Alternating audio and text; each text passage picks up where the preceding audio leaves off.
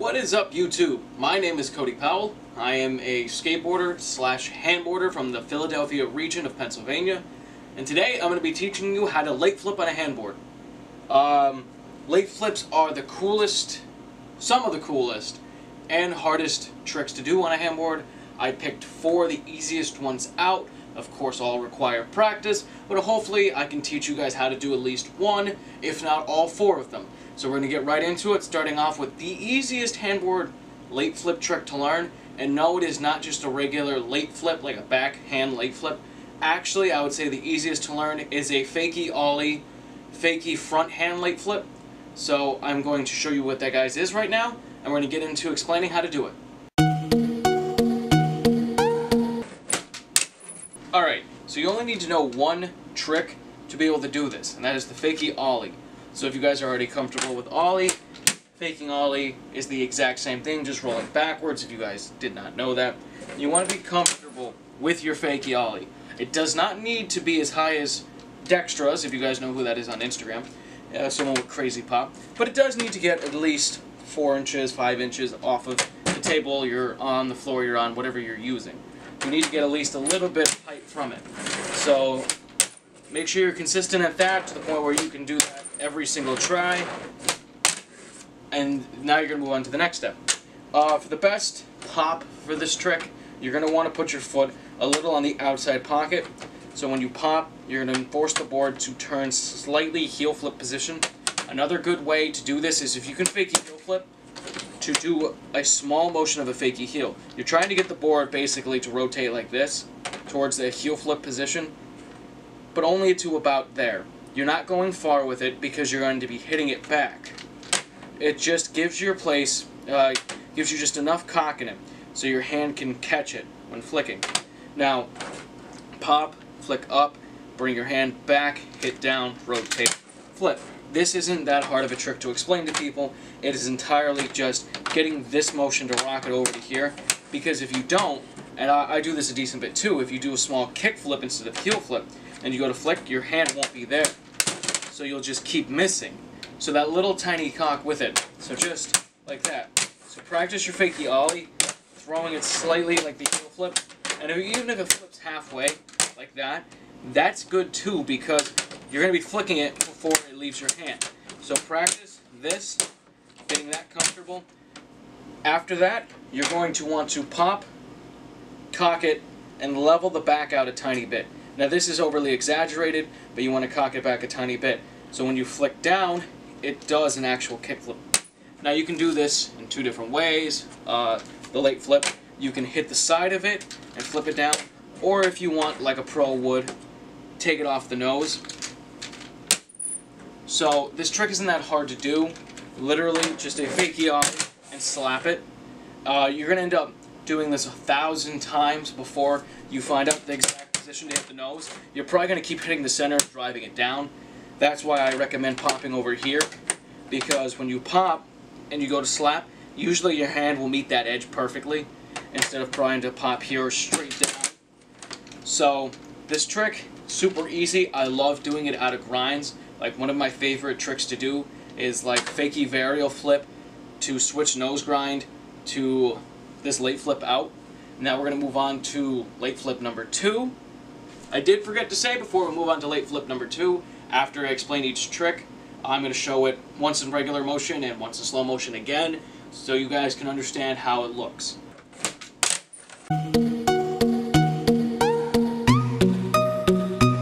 Trick number two is a regular front shove, late front foot, late flip. This trick is not that difficult, but it is a weird one to learn. Now, I've known how to do this for about two years, but slowly I've perfected it to the point where I can do it almost every single try. So we're going to see what a front shove late flip looks like now. So this is the second late flip I have ever learned. Uh, this one isn't difficult. The only, the only trick you need to know how to do this trick is a front shove, which they aren't hard. So once you learn a front shove, make sure you have good, make sure you're able to do them first try every try, because the shoves are extremely easy on a handboard. Pop shove it, front shove, nollie, shove, you know what I mean. You get the point. Front shoves are very easy. So adding the late flip isn't that much more difficult. Now when I used to do it, I used to do it like this, but my hand kept missing the flick. It was very difficult to get that. So what I started doing was, take your hand and put it in your normal front shove position, your backhand, and take your front hand and put it right in front of the back bolts and cock it slightly. You're going to do the front shove, you're going to follow the board with your hand, and then you're going to flick it down. And while that seems extremely difficult, it actually is a lot easier than you would think. Now, a big problem with doing that is if you flick too early, you'll end up just doing a varial heel flip. And you can't say that's a front shove late flip if you do a varial heel. You know what I'm saying? So wait, time it, land it. I'm going to show it once again in slow motion and regular motion. This trick, very, very simple. Seriously, just the front shove and then the late flip. So that one's going to take practice. A lot of the time when I do the front shove, I'll catch it too high up and throw it across the room. And no one likes that. That, But this is also a really easy one. The next one is also an easy one. And the final one is slightly harder. But definitely, I don't think anybody's going to be teaching you guys how to do that. So, let's watch it one more time.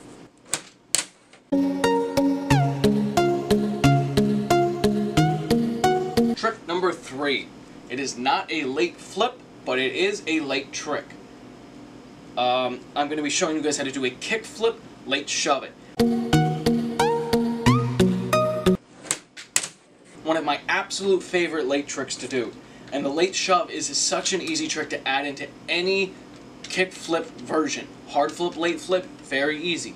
Um, anything that flips in the kick flip motion is super easy to do this.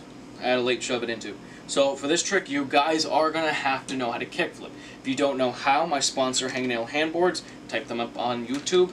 You can find that uh, one of the guys, Zyler, has a kickflip tutorial on there. So learn how to kickflip. Wow, I can't even kickflip. Make sure your kickflip's good. You can do it pretty consistently, pretty decently, and this one takes more timing than the other late flip tricks, but this one probably is easier than the other two. So you're going to do a kickflip, just a regular kickflip, and you're going to watch it rotate. And the second you see the graphic, now your hands are here, like a kickflip motion, like your hands are here after the flick, and you're waiting for it to fully rotate. Now we're talking split second, and this is a little exaggerated, but you're going to watch it. And the second you see the graphic, take your back hand, start pulling it towards you at a very light power, like low speed, light power. And when you catch it, you're going to end up throwing it around and catching it like this. So, this one is tough because hitting it too hard, you can do a three shove by accident, which is pretty cool. I love doing kickflip and late impossibles. But you're trying to get it pretty slowly. Like that. So, in slow motion, this trick looks super, super cool. Same thing with the hard flip, late shove, it's front shove, late shoves. But, it's not hard, so watch it rotate, catch it with the back hand, bring it, let it go, and then roll away clean. Let's watch it one more time. Super easy to learn. Um, you can also do this trick if it does rotate fully. Now, because I said you want to catch it on the grip here and throw it around, but you don't have to. If it fully flips, you can throw it from the side too without a problem. So, practice your kick flips, practice your pop shoves, you can get a kickflip late shove. Let's watch it one more time and get into the final and hardest trick of this video.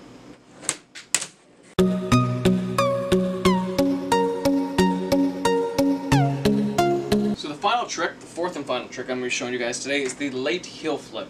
Now, I did say at the beginning of this that these are the easiest flip tricks. Late flip or late trick. Uh, things to do on a handboard. Late heel is not easy. It will take a while to learn.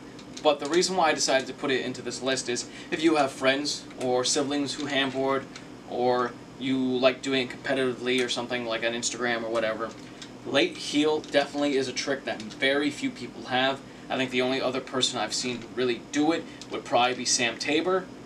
but not many people have late heels. So let's take a look at what that looks like. Now I am talking about late backhand heel, rolling regular. So let's look at that.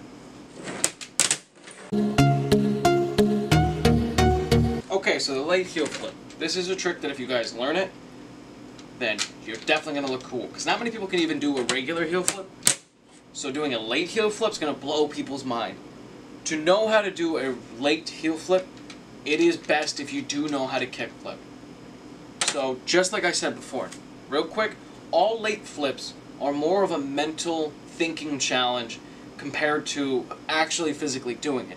So just like with the fakie late flip, you're going to do a small kick flip motion this time because you're pushing forward against the board to do a heel flip. You're going to want to do a kick flip motion bringing it back. So put your foot your backhand wherever you want. Truthfully that part does not matter. But when you flick you're going to want to flick in the kick flip motion very lightly just enough to bring it up. So doing a bunch of half flips that could help you. Or if you're good enough to just do it and set it back down practice that a decent bit. The second you're able to do that, then you're good.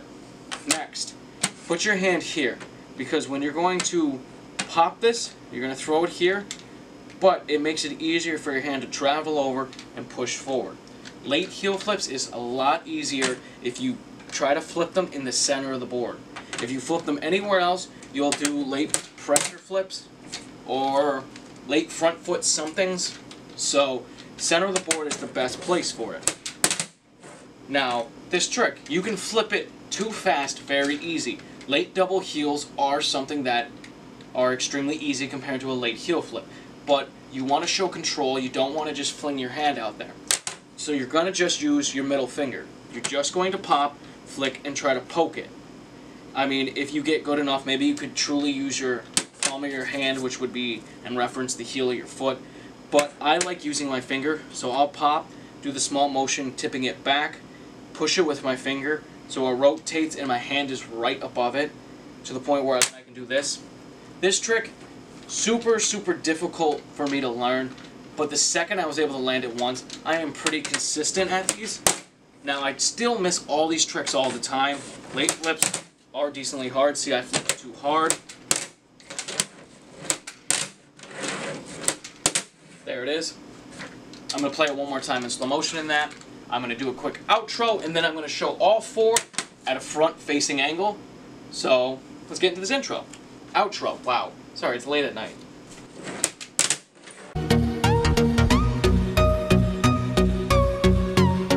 Alright, YouTube. So thank you for joining me in my little handboarding tutorials.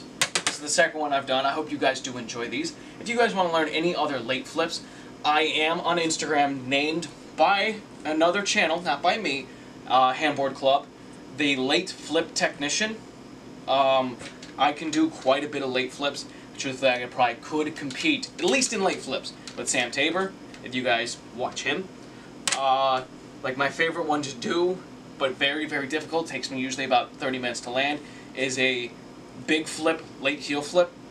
But I've also done heel flip, late heel flip, uh, kickflip late impossible, uh, hard flip late shove, late frontside flip, fakie late frontside 360 flip.